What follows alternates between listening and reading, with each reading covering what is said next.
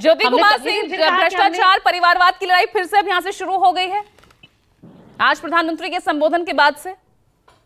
देखिए पूजा जी मैं सर्वप्रथम इस देश को आज़ादी दिलाने में जो स्वतंत्रता सेनानियों ने अपना बलिदान दिया उनको याद करते हुए नमन करते हुए मैं पूरे देशवासियों को बधाई देता हूँ स्वतंत्रता दिवस पर।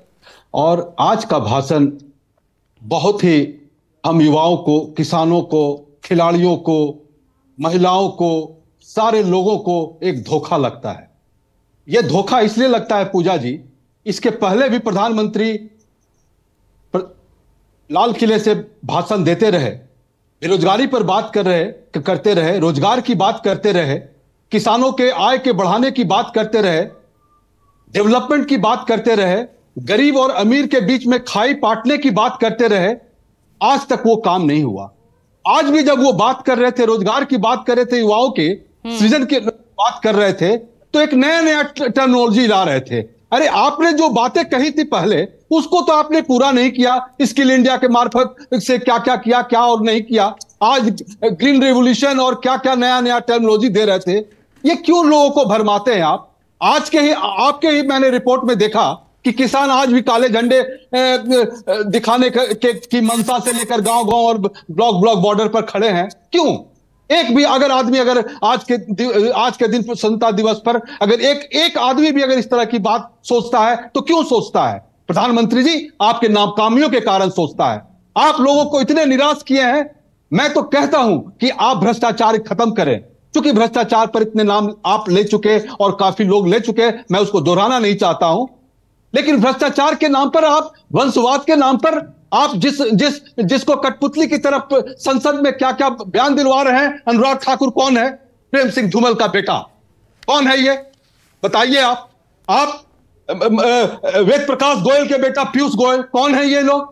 कौन है ये लोग? तो आप अपने घर में साफ़ सफ़ाई करना नहीं चाहते हैं, और क्या दिन को आप बोलते हैं रात है?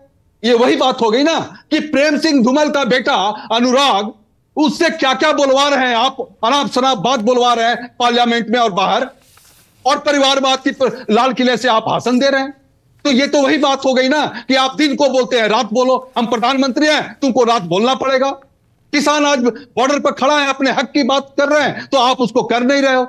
विपक्ष जो संविधान की बात करती है और आज अगर राहुल गांधी ने यह बात कहा इसीलिए मैं पूछ रही ना छूता तो कोई भी नहीं है। आप उनके तमाम नेताओं के नाम गिना रहे हैं तो आपकी पार्टी में परिवारवाद किस तरह से फैला हुआ है और तमाम जो आपके गठबंधन में तमाम राजनीतिक पूजा जी हाँ। पूजा जी पूजा जी देखिए आप जब आप प्रधानमंत्री इसको क्लेम कर रहे हैं मैं तो क्लेम नहीं कर रहा वो क्लेम कर रहे हैं कि मैं खत्म करूँ उनको पता नहीं है कि हर बार 65 परसेंट लोग जो नए ही चुन के आते हैं उनको पता नहीं है। क्या बोल रहे हैं आपकी एक लाख लोगों को मैं करूँगा? वो ऑलरेडी इस इस लोकतंत्र को जो विपक्ष ने झंडा डाला जिसको जिनको इनको भुगतना पड़ा इस बार 400 का बोलते बोलते आ गए तीन दो पर वो यही बोलने, बोलते बोलते कि राहुल गांधी ने जब 4000 से 6000 10000 किलोमीटर चलकर लोगों को बताने का प्रयास किया और लोग समझे कि ये लोग जब पूरे 400 आएँगे तो पूरा फ्रीडम खत्म कर देंगे, खाने का अधिकार खत्म कर देंगे, पहनने का अधिकार खत्म कर देंगे, बोलने का अधिकार खत्म कर देंगे तो यही मान के तो इनको घटाया।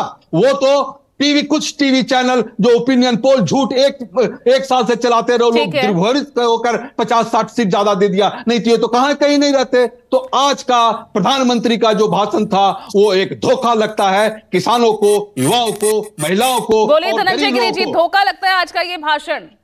कांग्रेस से कह रहे हैं ज्योति कुमार सिंह। और सही बात है एक लाख युवा गैर राजनीतिक बैकग्राउंड से आए। पैंसठ पैंसठ फ़ीसदी तो होंगे। और मैं पूछना ये चाहती हूँ आपसे कि अगर ये लोग आ जाते हैं तो क्या होगा अनुराग ठाकुर का? क्या होगा पीयूष गोयल का पंकज सिंह का बांसुरी स्वराज का? अभी उन्होंने ज्वाइन किया पार्टी। क्या होगा इनका पूजा पूजा जी जो नीति और नीयत ठीक हो तो नेसर नीति निरंतर नई ऊंचाइयाँ छूता है। रिफॉर्म परफॉर्म और ट्रांसफॉर्म की नीति देते हुए प्रधानमंत्री नरेंद्र मोदी ने जो आह्वान किया उन्होंने तीन लाख संस्थाओं को भी नगर पालिका पंचायत राज्य से केंद्र सरकार तक रिफॉर्म करने की बात कही। कितनी ही बातें कही लेकिन कांग्रेस को कुछ ही बातें कैसे चुप गई? क्योंकि पाँच पीढ़ियों से पार्टी एक परिवार के कब्जे में है तो वहाँ ये किसी भी स्वतंत्र चेतना के व्यक्ति के लिए नहीं ठीक है। क्योंकि फिर वह पार्टी के कार्यकर्ता नहीं बल्कि एक पार्टी एक परिवार के पाँव पोच बनकर रह जाते हैं। दूसरी बात इन्हें अनुराग ठाकुर ही बार बार क्यों याद आते हैं? उन्होंने राहुल गांधी तो पूरा घूम घूम कर पत्रकार से किसान से नौजवान से सेना से सबसे पूछते हैं कौन जात हो भाई? तुम्हारा मालिक कौन जाते भाई? उन्होंने तो यही कहा ना कि भाई जो जाति भाई वंश बदल गई जात बदल गई। अब बताओ गोत्र। दादा लेटे सीमेट्री में यही बगल में इलाहाबाद में। अजाति पूछे पोत्र। ये तमाशा ये तमाशा तो आप ही कर सकते। हैं ना। दूसरा बात बयालीस पर थे बावन पर थे तो कोर्ट के ऊपर जनेऊ लगाते थे और निन्यानवे पर जाकर कहते हैं हिंदू हिंसक होता। तो ये बात इतनी क्यों 303 गई? से आप भी तो उसके बाद- 240 पर आ गए ना बाद- भ्रष्टाचार परिवारवाद का मुद्दा उठाया कहाँ चला? कहाँ चला धनंजय जी, बिंदु कहाँ चला? बोले घनेन्द्र भारद्वाज आ ज्योति कुमार सिंह घनेन्द्र भारद्वाज। पूजा जी मुझे बिंदुवार जवाब दे लेने दीजिए। उसके बाद एक वक्त कम है मेरे पास धनंजय जी वक्त कम है प्लीज़ दूसरे एक पार्टी है जो अगर कोई बलात्कारियों को बचाने का व्यवहार जिस पार्टी का संस्कार हो उससे ऐसे गंदे शब्दों की उम्मीद कर सकते हैं। ऑडियो डाउन अगर चैनल पर बैठ कर इसका तो जवाब चलिए ठीक है ठीक है। अब बाकी बाकी मेहमानों को. वक्त देने दीजिए। धनंजय जी प्लीज़ कोई बड़ी बात नहीं गुजारिश है आपसे। पूजा जी। बलात्कारी को बाप बताए। ये उन समाजवादियों मुझे मजबूरन आपको ऑडियो डाउन करना पड़ेगा धनंजय जी।